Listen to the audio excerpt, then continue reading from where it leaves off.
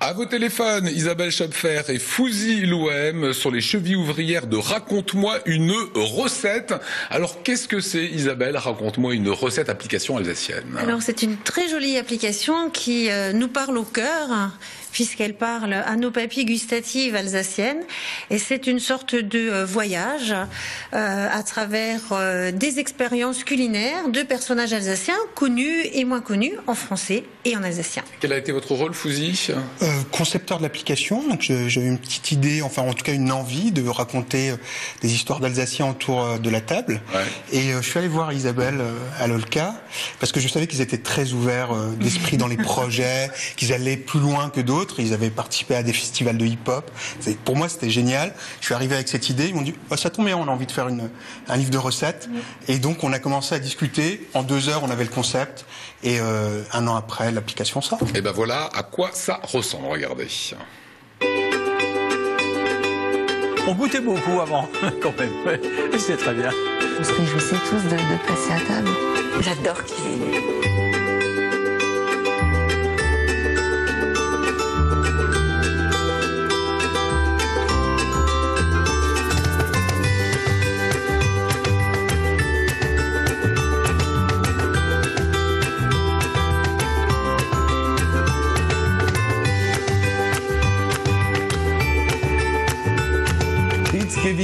Das Rezept für gebrotener Mensch zu machen.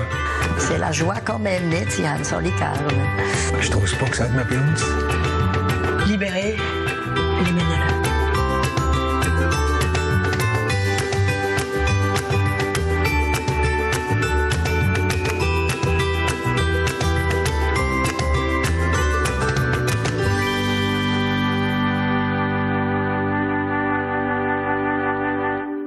Et ben voilà, c'est plus bientôt disponible. C'est disponible maintenant, bon, sur un téléphone qui est très cassé, certes, mais ça marche quand même, Mélo.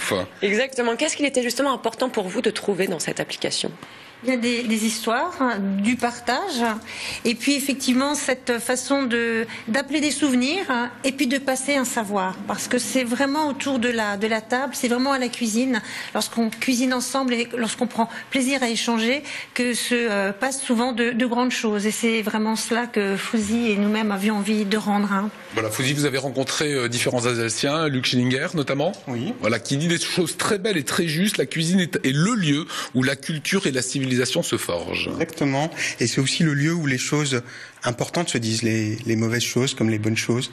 Euh, c'est dans la cuisine. Voilà, les hommes ont besoin de se retrouver autour de la table, euh, Isabelle. Oui, tout à fait. Avec cette application, qu'est-ce qu'ils auront en, en plus, le petit plus?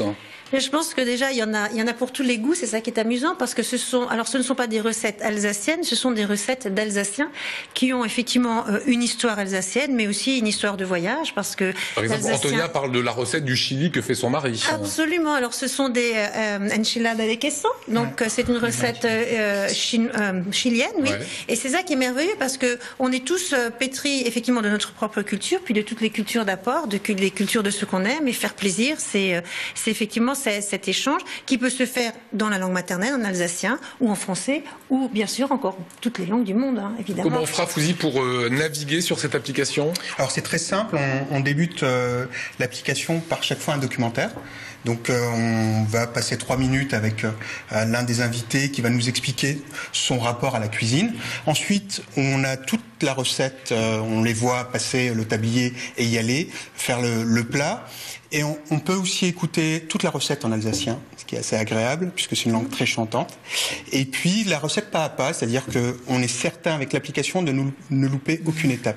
Ça, c'est très important pour nous. Est-ce qu'il y a aussi quelques incontournables alsaciens, Isabelle Oui, bien sûr. Bah, il y a les Fleischnack, par exemple. Il y a les Wienerbrett. Là, ça, on pouvait pas passer, euh, passer à côté. Et puis, il y a des choses un petit peu plus originales. Il y a un tagine, il y a des cornes de gazelle, parce que c'est aussi ça, l'Alsace. Hein. C'est une terre de passage et de métissage. Il faut on bien a, le dire. Hein on a aussi des plats inventés. Tout à fait. C'est-à-dire voilà. hein. C'est-à-dire, par exemple, euh, Stéphane Bossler, c'est un plat qu'a qu inventé sa grand-mère. Elle faisait tout petit et aujourd'hui, il l'a fait à sa fille. Et donc, c'est on, on, a trouvé un nom oui. pour ça. non, je ne pourrais pas. un Blueby bulgare. Ah non, mais c'est vraiment très très bon. On l'a goûté, c'est voilà. formidable. Alors ça se trouve sur euh, l'Apple Store. Ça sur l'Apple trouve... Store, il faut le lire sur les tablettes idéalement. Voilà. On peut aussi le lire sur les smartphones et très bientôt sur le Google Play d'ici la fin de la semaine. On sera également sur Android. Ouais, Android. Voilà. Moi, je l'ai téléchargé tout à l'heure. J'ai commencé évidemment à m'amuser et j'ai repéré quelques petites recettes. Merci à vous. Merci. Vous allez croiser au maquillage avec Lutz, euh, avec Bruno Sanchez, avec Top.